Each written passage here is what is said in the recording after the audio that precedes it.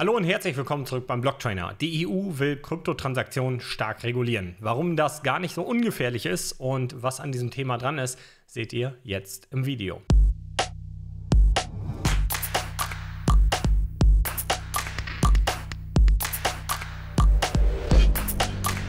Vor einigen Wochen hat Bitcoin Echo einen Beitrag veröffentlicht, in dem es hieß, dass die EU plant, diverse anonyme Krypto-Wallets zu verbieten oder das zu unterbinden. Und genau dazu hat jetzt Reuters ebenfalls einen Artikel veröffentlicht. Beide Artikel von Bitcoin Echo und auch der von Reuters sind ohne Quellenangaben. Das heißt, ähm, die Quellen fehlen, woher diese Informationen stammen. Ich kann euch aber so viel sagen, ich habe im Nachgang jetzt mit einem Anwalt gesprochen und der hat mir zu dieser Thematik auch ein paar Dinge erläutert. Darauf kommen wir gleich. Alles in allem gibt es etwas, das nennt sich die Financial Action Task Force. Und was die versuchen zu machen, ist so eine Art Travel Rule. Also so nachzuweisen, wo Transaktionen hingegangen sind, von wo sie kommen und so weiter, sodass man irgendwann zwar diese Netzwerke wie Bitcoin und andere nutzt, aber tatsächlich jedes Transaktionsgateway und jede Transaktionsherkunft identifizieren kann. Hey, kommt diese Transaktion von einer Wallet, die KYC authentifiziert ist, also Know Your Customer, wo wir die Person dahinter kennen oder eben nicht. Und dieses Gesetz hat es ganz schön in sich. Vor einigen Monaten war es so, dass diverse niederländische Börsen und Exchanges und Broker und so weiter umgestellt haben auf ein Verfahren, dass wenn man seine Kryptowährung an sich selber auszahlen wollte, also auf die selbst gehosteten Wallets, ich kann sie euch gerne nochmal hochhalten, sowas hier, so eine Hardware-Wallet zum Beispiel, dass man dann einen Screenshot dieser Wallet übermitteln musste. Damit haben dann diese Exchanges festgestellt, okay, diese Wallet gehört wirklich diesem User. Zumindest haben sie das so kommuniziert. Und am Ende gab es jetzt ein Gesetz dort, dass es nicht rechtmäßig ist, auch für die Privatsphäre und den Datenschutz nicht wirklich rechtmäßig ist. Und das Ganze wurde wieder eingestellt. Es ist jetzt nicht mehr notwendig, einen Screenshot seiner eigenen Wallet zu übermitteln. Ja, und jetzt haben wir diese ganze Thematik hier, die dazu führen könnte, dass natürlich die EU-Richtlinie sagt, hey, alle Länder, die in der EU tätig sind und die irgendwie Broker und Exchanges ähm, haben oder Unternehmen, die in diesen Ländern tätig sein wollen, sind verpflichtet von jedem User, wenn er denn eine Transaktion auf die eigene Wallet machen möchte, ähm, irgendwie nachzuweisen, dass diese Wallet ihm gehört. Dreh- und Angelpunkt dieses Gesetzes ist AMLD5, also die aktuelle Anti-Money Laundering Gesetzesgebung und beziehungsweise die Fortführung davon, zum Beispiel AML A6 oder D6 und ähm, da kann es nämlich genau dann zu diesen starken Restriktionen kommen, dass diverse ähm, Nachweispflichten vorhanden sein müssen, vielleicht auch erst ab einem gewissen Betrag, wobei die EU oder zumindest Deutschland gar nicht so betragsabhängig handelt, sondern eher bei auffälligen Tätigkeiten oder bei auffälligen Transaktionen. Hey, du hast äh, total viele Transaktionen ins Ausland gemacht, irgendwas stimmt da nicht.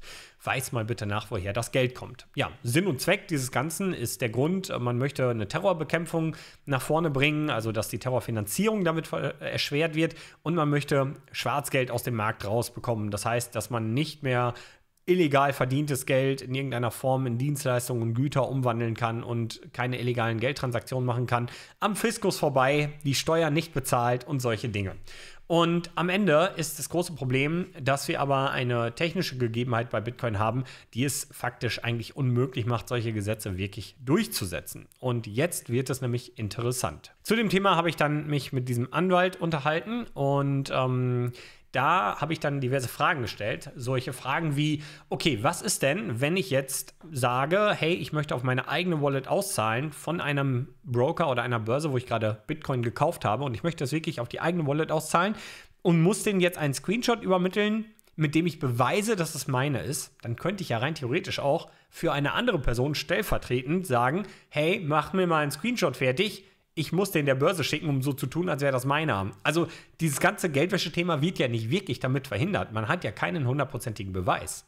Der Anwalt sagte mir, oh Roman, da bohrst du gerade in einer offenen Wunde. Und hier wird es spannend und auch ein bisschen gruselig und gefährlich für die Zukunft. Er hat es so geäußert, dass die Tendenz in diese Richtung geht, dass irgendwann self-hosted Wallets verboten werden könnten. Dass nur noch Wallets erlaubt sind, die tatsächlich von einem Dienstleister zur Verfügung gestellt werden, wo rein theoretisch der Dienstleister zensieren könnte, euch den Zugang verhindern könnte und diese ganzen anderen Probleme. Natürlich ändert es nichts daran, dass ihr Bitcoin privat wenn wir Bitcoin auf einer privaten Wallet haben, von Person zu Person schicken können.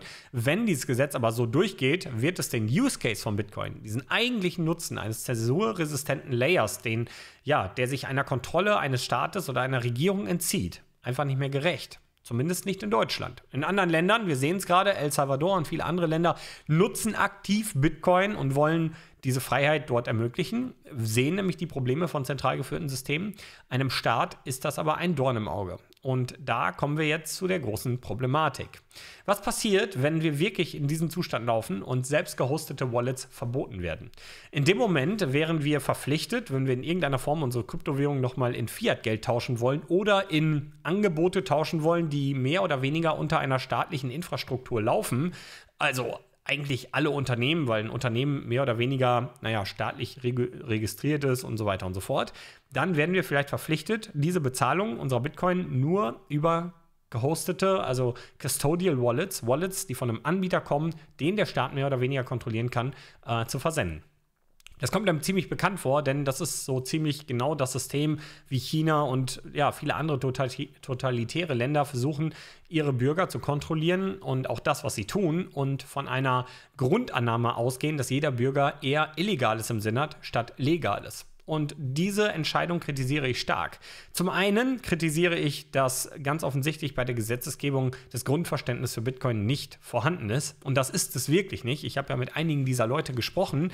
Es ist wirklich so, dass die wirklich der Annahme verfallen sind, dass man in dieser Art und Weise eigentlich nur ein Asset hat, ähm, wo es um das Investieren geht, aber gar nicht, dass das hier ein neues Geld sein könnte und dass man mit derartigen regulatorischen ähm, Hürden eigentlich diesen Use Case dieses Geldes, zumindest fürs eigene Land, ähm, komplett obsolet macht. Und sich eigentlich auch schon wieder ins Ausschießt, gerade was die Digitalisierung der Zukunft angeht. Denn seien wir mal ganz ehrlich, wie will man eine freie, offene Lösung, freie Lösung für Bitcoin bauen, Open Source Lösung, und da kommen wir gleich nochmal zum ganz wichtigen Punkt, für die Zukunft bauen, wenn es derartige Gesetze in diesem Land gibt. Es ist nahezu ausgeschlossen.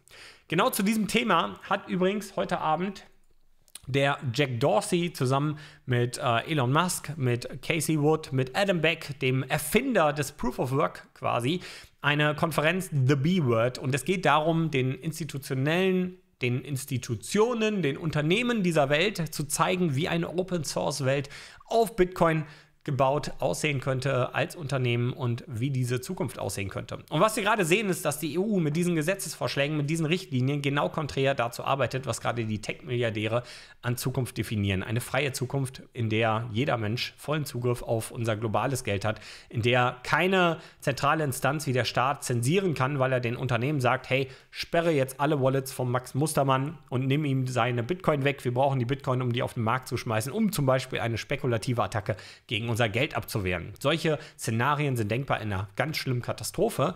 Und man sieht aber, dass die EU und gerade auch Deutschland, die ja zum Teil auch federführend bei diesen Gesetzen sind, ja, sich selber wieder ein Bein stellen und hier wieder ins Ausschießen und die nächste Welle der Digitalisierung nach dem Internet verpassen, aus einer Angst heraus, die völlig unbegründet ist. Ganz wichtig, und das finde ich sehr, sehr gefährlich bei diesem Thema, ich werde euch mal diesen Artikel unten in der Videobeschreibung verlinken. Stigmatisiert, entrechtet, ermordet es ist ein sehr, ähm, ja, ein Artikel über eine sehr grausame Zeit, ähm, die hier äh, durch damals die Nazis, äh, ja, durch Taten der Nazis verführt wurden. Und es geht genau um dieses Thema. Ähm, tatsächlich sind damals, äh, ja, die Soldaten der NSDAP in die, ähm, ja, in die Niederlande eingewandert und haben äh, das damals modernste Bevölkerungsregister benutzt was äh, in Amsterdam äh, umgesetzt wurde, um dort eine gravierende Judenverfolgung zu ermöglichen. Ja, und äh, da ging es auch darum, dass die Menschen, die Vorfahren hatten, die jüdisch waren, aber selber schon gar keine mehr waren, weil sie vielleicht sich äh, umgetauft haben oder was auch immer, trotzdem verfolgen konnten, weil dieses Bevölkerungsregister eine so klare Hierarchie von dem festgestellt hat, wie ähm, ja, der Stammbaum einzelner Personen ist. Dieser Artikel handelt davon und es geht um diese Amsterdam-Listen, wie gesagt, damals gefeiert als das modernste Bevölkerungsregister, im Nachhinein sich herausgestellt als ganz grausames Werkzeug von schädlichen Entitäten. Und das dürfen wir nicht vergessen. Die Kontrolle, die der Staat heute aufbaut, in dieser weisen Voraussicht, dass der Staat sagt, hey, ich mache das ja und ich gehe mit diesen Daten gut um und ich missbrauche meine Macht nicht. Wir hoffen, wir können ihm glauben, wenn das so stimmt kann er aber trotzdem nicht gewährleisten, dass es nicht irgendwann mal einen Machthaber gibt, oder einen Angreifer, einen Hacker oder Geheimdienste aus anderen Ländern, die an diese Daten kommen und auf Basis dieser Daten, was ihr so kauft, was ihr machen wollt, vielleicht eine Verfolgung von euch irgendwann die Folge sein könnte. Hier gebe ich immer das Beispiel, stellt euch vor, heute ist es gesellschaftlich in Ordnung, grüne Pullover zu kaufen und irgendwann kommt mal ein Machthaber, der sagt, hey, alle Menschen, die grüne Pullover kaufen oder die Nachfahren von Leuten sind, die grüne Pullover kaufen, die werde ich politisch verfolgen. Und ja, anhand dieser Transaktion kann man das nachvollziehen.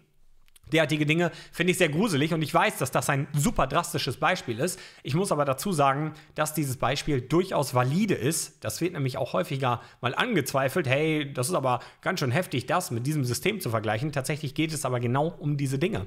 Gerade wenn es um das geht, was wir kaufen und was wir tun, kann man sehr, sehr präzise Profile über Menschen anlegen, ähm, und ihr Kaufverhalten und wer diese Menschen so sind und äh, wie die so ticken. Und man kann dort durchaus mit diesen Daten sehr, sehr viel Unfug anstellen. Vielleicht nicht unsere heutige Regierung, aber unsere Regierung heute kann niemals darstellen, wie die Zukunft aussieht und kann das nicht sicherstellen, dass sie nicht mal auch geputscht wird oder irgendwas anderes passiert. Wer weiß, was in Zukunft passiert. Für mich ist nur eins wichtig. Wir dürfen das nicht zulassen, dass wir irgendwann nur noch auf Custodial Wallets unsere Bitcoin liegen haben. Bitcoin ist das Geld der Zukunft. Es verändert diesen Planeten. Es schafft einen, eine Chancengleichheit für jeden Menschen. Und nur weil dort Staatshaber, Zentralbanken und viele andere sind, die Angst vor dieser äh, Macht haben, dass das Volk wirklich diese Verantwortung zurückgewinnt, dürfen wir nicht zulassen, dass man uns diesen Gefahren aussetzt. Für mich ist es wichtig, dass wir an dieser Stelle irgendwie versuchen, eine ja, eine politische Stimme zu sein. Und ich hoffe, dass dieses Video auch Politiker sehen, die diese Informationen nutzen, um diesen Gesetzesentwurf anzufechten. Ich bin kein Politiker, ich will keiner sein. Ich möchte aber den Politikern da draußen ja, diese Informationen geben, auch gerne diesen Deep Dive geben, was ist Bitcoin, wieso brauchen wir Bitcoin, was verändert Bitcoin auf diesem Planeten und warum schießen wir und nicht nur aus diesem Kontrollwahn heraus, warum schießen wir unsere gesamte Industrie wieder ins Abseits, verpassen die nächste Welle der Digitalisierung, wenn wir solche Gesetze durchdrücken. Und da möchte ich an euch appellieren, schickt an die Politiker, die ihr kennt, über Twitter, über E-Mail, über alle möglichen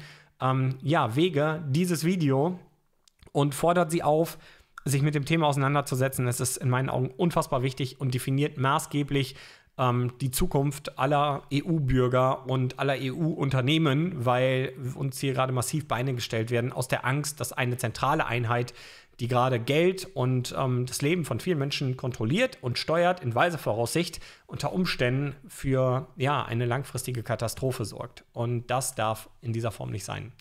Und damit ähm, möchte ich euch nochmal darauf hinweisen, heute Abend der Live-Ticker bei uns zur Konferenz The B-Word auf unserer Homepage. Ähm, da über, übersetzen wir auf Deutsch die dort ähm, ja, vorhandenen Diskussionen, Panels und Gespräche. Könnt ihr dann hier auf der Seite nachlesen, Link in der Videobeschreibung. Und wenn ihr Bitcoin verstehen wollt, Debbie, meine Verlobte, lernt das Thema gerade und gibt immer ihre gelehrten Inhalte wieder. Gerne den Kanal abonnieren und die Videos schauen. Sehr gute Videos für Einsteiger. Verlinke ich euch ebenfalls in der Videobeschreibung und ansonsten gleich im Abspann. Das war's mit dem Video. Wenn euch der Inhalt gefallen hat, haut ein Like aufs Video. Wenn ihr euch gegen diese Richtlinien stellen wollt, absolute Empfehlung Bitbox, Link ebenfalls in der Videobeschreibung. Besorgt euch so ein Gerät, hostet eure Bitcoin selber, um derartige Gesetze zu erschweren. Und damit wünsche ich euch noch einen wundervollen Tag und auf Wiedersehen. Macht es gut, liebe Leute, und tschüss zusammen.